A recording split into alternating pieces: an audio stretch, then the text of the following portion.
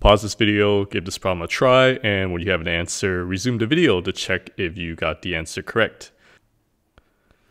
So in this problem, we are given a balanced chemical reaction. We're also given how a, graph showing the concentration versus time, and then we're asked when is the, the equilibrium first reached.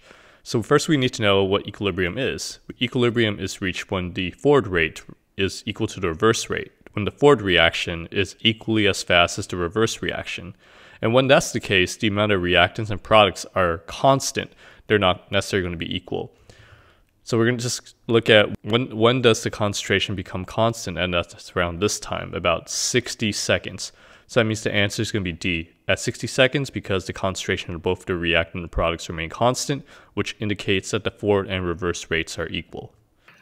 If you want to learn how to ace chemistry, if you want to learn what's the best way to study for this class, if you want to learn some neat tricks and tips to take into your exam and do better on them, then you should head over to my website and get this free guide, uh, 12 Secrets to Acing Chemistry. You can head over to www.conquerchemistry.com slash chemsecrets. I'm going to include a link in the description below. Check it out. I think it's really going to help you and you're going to you're going to like it. Until next time, keep working hard and continue the good work.